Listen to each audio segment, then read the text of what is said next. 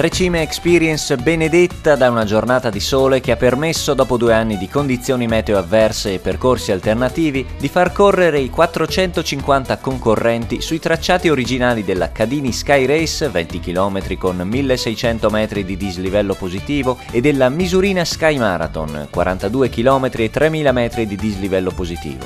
15 le nazioni rappresentate nella corsa con atleti arrivati per l'occasione nel paese delle tre cime di Lavaredo. Successo anche per la Cadini Kids Race che quest'anno si è svolta a Misurina per dare ai più piccoli l'emozione di arrivare sotto lo stesso traguardo dei grandi.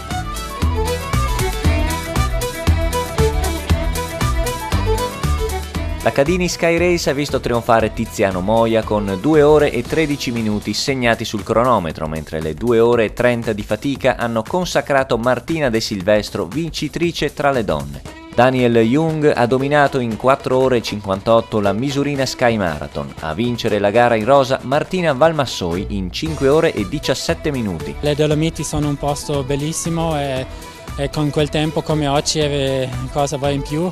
I perfetti trails, il meteo perfetto così sì, dai, è andato bene la gara, ai primi 15 km sono andato con una delle mani, con Sammy Grill, abbiamo, abbiamo siamo andati bene e poi ho provato di attaccare in discesa, in una discesa tecnica e ho visto subito che sono un po' più veloce degli altri.